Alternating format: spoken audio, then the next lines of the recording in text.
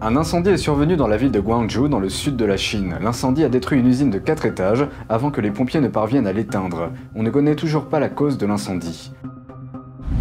Une ville portuaire en Chine affirme que plus de 10 millions d'habitants ont été diagnostiqués négatifs au virus, et le ministre de la Santé de Taïwan affirme que ces chiffres sont quasiment impossibles. Après avoir subi les conséquences du virus, les graves inondations, la sécheresse et les invasions de criquets pèlerins, la production céréalière en Chine suscite de plus en plus d'inquiétudes. Pékin a averti les États-Unis qu'ils pourraient détenir des Américains en Chine. Cette mise en garde fait suite aux poursuites engagées par le ministère de la Justice contre des universitaires chinois affiliés à l'armée. Et une voie controversée de l'immigration a été officiellement fermée. Les manias chinois et les responsables du régime communiste l'avaient empruntée pour émigrer vers l'Europe.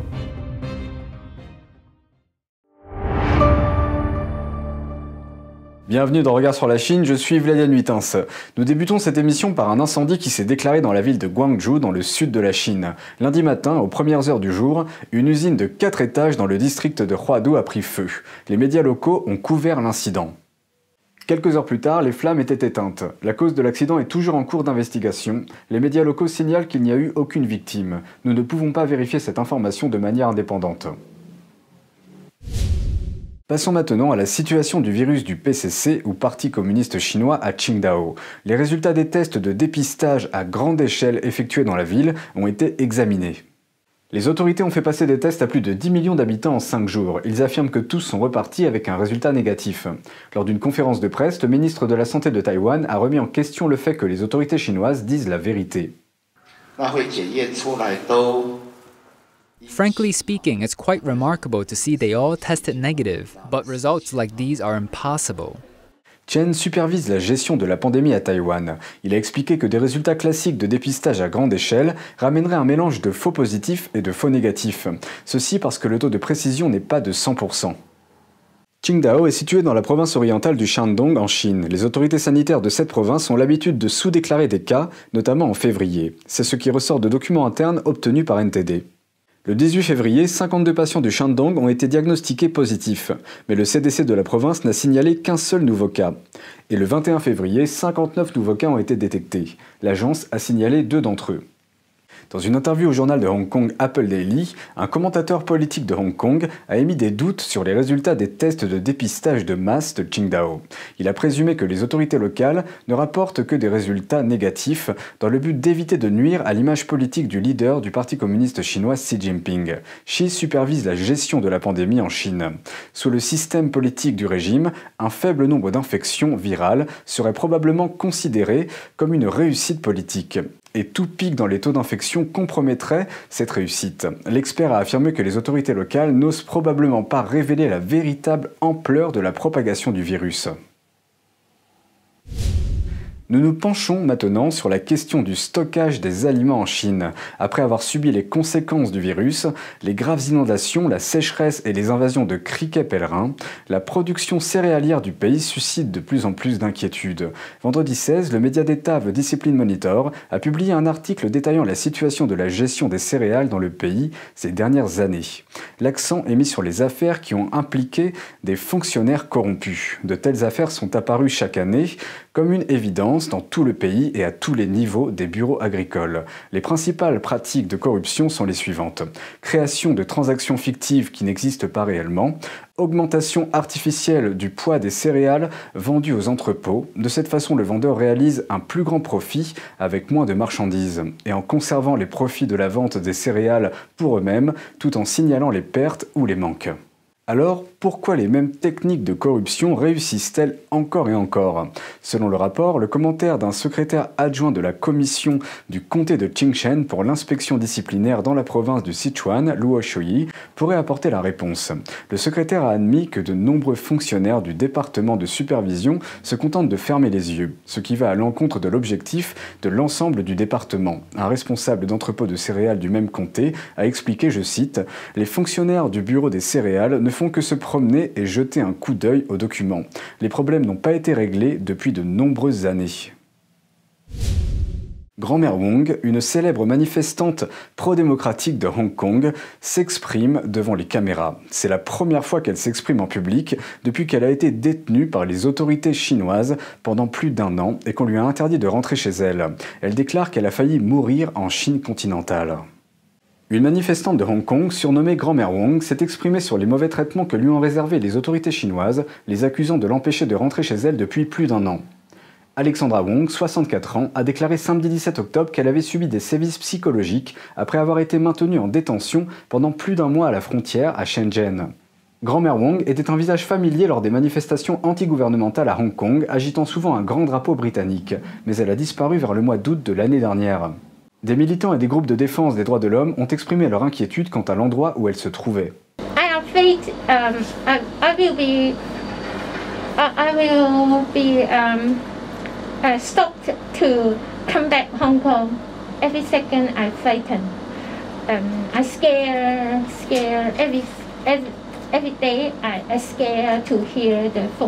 La ville chinoise de Shenzhen est située au nord de Hong Kong et comme Wong, de nombreux Hongkongais y vivent.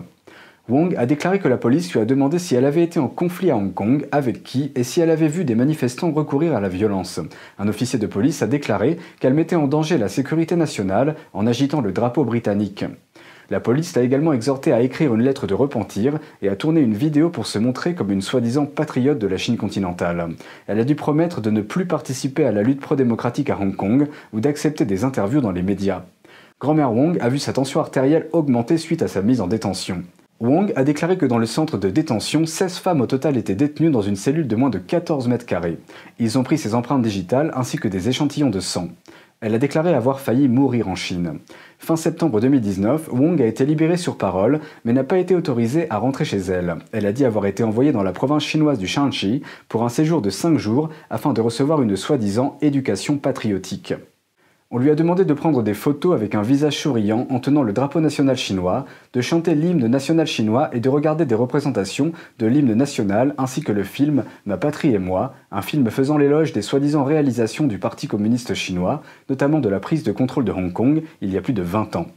Après avoir été libérée sous caution, elle n'a toujours pas été autorisée à quitter la Chine pendant un an. Elle a été placée sous surveillance par les autorités jusqu'à son retour à Hong Kong début octobre.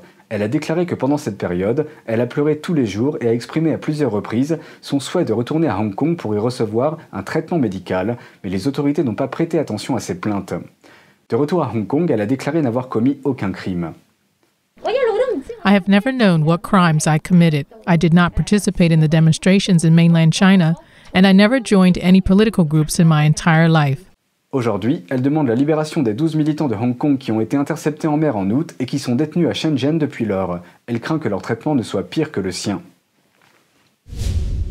Nous abordons maintenant les tensions diplomatiques croissantes entre la Chine et Taïwan. Les autorités chinoises semblent menacer Taïwan d'une éventuelle invasion militaire. Un article d'opinion publié dans le journal d'État Le Quotidien du Peuple a suscité des spéculations. En tant que journal officiel du Parti communiste chinois, il représente souvent les positions des autorités sur diverses questions. Ce qui est inhabituel dans cet article d'opinion, c'est qu'il contient une phrase diplomatique rare qui signifie ⁇ Ne dites pas que je ne vous avais pas prévenu ⁇ Beaucoup considèrent cette phrase comme l'un des avertissements diplomatiques les plus sévères de Pékin. Historiquement, les médias d'État avaient publié à plusieurs reprises cette phrase spécifique avant que la Chine n'entre en guerre avec d'autres pays. Par exemple, elle a été utilisée avant les guerres de la Chine avec l'Inde, le Vietnam et l'Union soviétique. L'article est publié alors que les tensions militaires entre la Chine et Taïwan sont en hausse. Selon un rapport du South China Morning Post, Pékin a modernisé ses bases de missiles sur la côte sud-est du pays. Il a également déployé un missile hypersonique d'élite dans la région. La semaine dernière, alors qu'il visitait une base militaire dans la ville de Shaozhou, le chef du Parti communiste, Xi Jinping, a dit aux troupes chinoises de focaliser leur esprit et leur énergie sur la préparation d'une guerre. Cette base militaire est considérée comme un front critique pour les conflits avec Taïwan. Deux jours après son départ, les autorités locales ont publié une liste de recommandations pour les kits d'urgence. Cette initiative a suscité des spéculations sur le fait que les autorités laissent entrevoir une guerre potentielle. Les ministères des Affaires étrangères de Taïwan et de Chine se renvoient mutuellement des coups après l'hospitalisation d'un diplomate taïwanais. Taïwan a déclaré qu'un de ses diplomates au Fidji a été agressé par des fonctionnaires chinois qui ont tenté de gâcher une réception organisée par la mission diplomatique de Taïwan. La situation s'est envenimée jusqu'à la violence et le diplomate s'est retrouvé à l'hôpital avec une blessure à la tête. La réception était organisée pour célébrer la 109e fête nationale de Taïwan. Le ministère des Affaires étrangères de Taïwan a déclaré dans un communiqué qu'il condamnait fermement les violences commises contre son diplomate au Fidji, ajoutant qu'en tant qu'État souverain, il ne se laissera pas intimider mais continuera à célébrer la fête nationale de Taïwan, je cite, partout, chaque année. Le ministère chinois des Affaires étrangères a nié ces allégations, affirmant que Taïwan avait commencé le combat. Le ministère des Affaires étrangères des Fidji n'a pas publié de déclaration. Pékin revendique Taïwan comme son propre territoire et a intensifié la pression sur Taipei pour qu'elle accepte la souveraineté chinoise, y compris en envoyant des avions de chasse près de cette île gérée sous un modèle démocratique. Le Pacifique est une source majeure de concurrence entre les deux, dans lequel Taïwan a des relations diplomatiques officielles avec quatre pays, mais pas avec les Fidji. Taïwan dispose d'un bureau de représentation dans les Fidji, établi depuis 1971.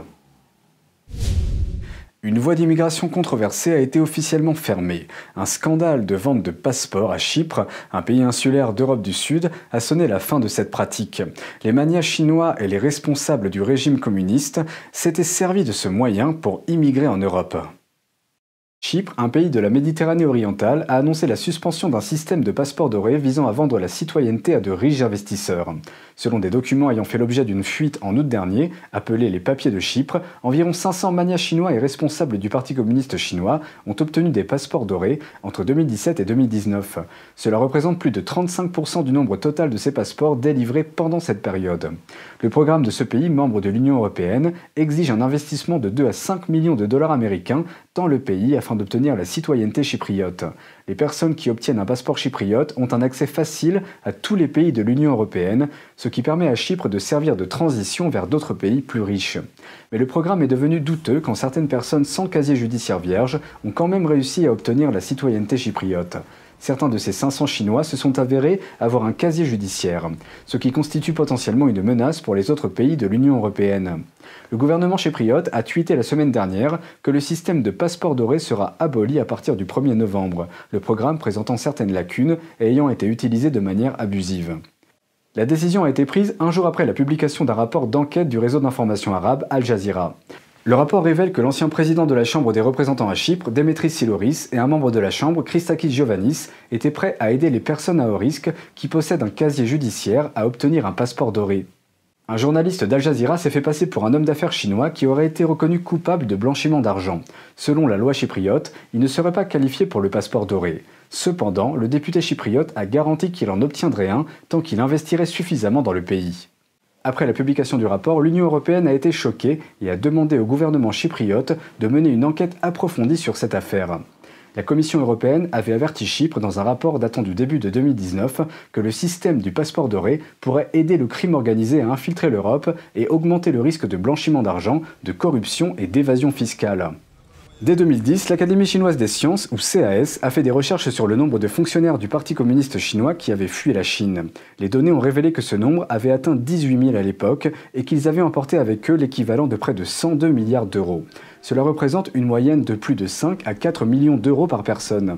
On pense que les responsables du Parti communiste chinois profitent de programmes tels que le passeport doré, ainsi que d'autres programmes similaires pour obtenir la citoyenneté dans d'autres pays. Mercredi 14, le régime chinois a averti Washington qu'il serait capable de détenir des Américains en Chine. Selon le Wall Street Journal, cette mesure fait suite aux poursuites engagées par le ministère de la Justice contre des universitaires chinois affiliés à l'armée. Le porte-parole du ministère des Affaires étrangères chinois a répondu lundi 19 en démentant les propos établis dans le rapport. Le département d'État a émis un avis aux voyageurs en septembre avertissant les Américains de reconsidérer leur décision de se rendre en Chine au risque d'être victimes de détention arbitraire arbitraire ou d'une interdiction de sortie du territoire par le régime communiste. Ces méthodes sont utilisées par Pékin pour, je cite, obtenir un pouvoir de négociation sur les gouvernements étrangers. L'administration Trump a intensifié la surveillance du régime chinois. Elle accuse la Chine de lui voler de la technologie, des moyens militaires et d'user d'autres stratégies dans le but d'évincer les États-Unis de leur position de première puissance financière et militaire mondiale. Pékin nie ces allégations. Le FBI a publié un rapport en août de cette année détaillant comment la Chine a coûté aux États-Unis entre 200 et 600 milliards de dollars en secrets commerciaux volés, en produits contrefaits et en logiciels piratés. Le mois dernier, les États-Unis ont révoqué les visas de plus de 1000 ressortissants chinois en invoquant des problèmes de sécurité. La Chine a qualifié cette mesure d'affront aux droits de l'homme. Et en juillet, le FBI a arrêté trois ressortissants chinois pour avoir caché leurs liens avec l'armée chinoise. Cette information provient du ministère de la Justice des États-Unis. Regard sur la Chine, c'est fini pour aujourd'hui. Merci pour votre présence et votre soutien. N'hésitez pas à partager nos vidéos pour nous aider à diffuser une information non censurée sur la Chine et à défendre la liberté de la presse et les droits de l'homme. Très bonne soirée et à bientôt.